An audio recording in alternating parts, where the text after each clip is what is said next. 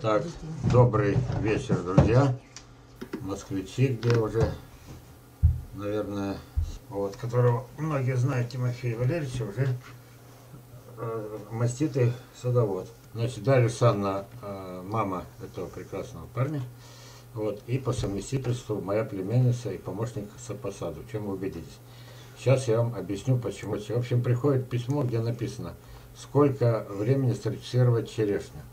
Я схватился за голову, я ни одной косточки черешни не садил, знаете, не сертифицировал. Оказывается, и я, специалист подобных плюсов, как нас называет Козьма Прутков, вот, я дозвонился до Бориса Ильича Боднера, садовод номер один в Сибири, из любителей. Вот, ну, учитывая его достижения, можно назвать среди профессионалов. Так, и это уровень, а, попался же я, как мальчишка, как двоечник. Не знаю, не садил, только черешню не садил. Вот он мне ответил, 170 дней на сертификацию. А почему мне человек задал этот вопрос? Потому что мои черешни, которые ему выслал, а фактически это черешни Боднера, потому что Боднер это маточный сад, вот видите, а, такое дерево мощное. Э, еще раз здравствуйте. Надеюсь, все будет нормально с технической стороной. Я вам э, начинаю свой рассказ из Сибири.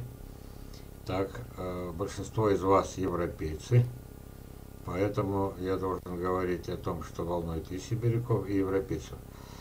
Вот, у нас проблемы общие. У вас сейчас самая страшная беда, которую не ждали.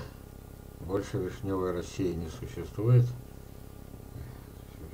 те самые вишни, которые делали весной огромные территории, занимали и были символом России, больше нет. Их сгубили грибы. На самом деле не грибы, официальная версия грибы. Мы до них доберемся, наверное, на следующем э, занятии. Почему?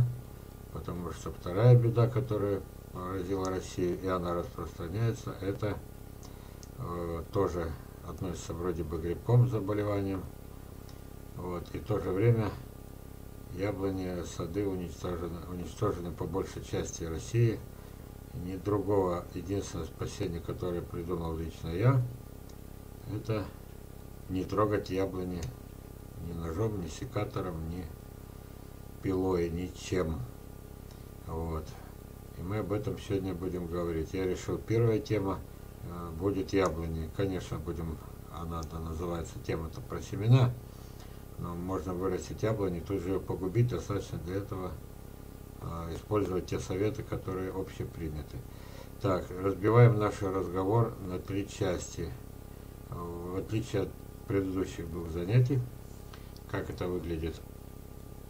Значит, вначале отвечу на несколько вопросов, 5, 6 или 7, потому что я обещал.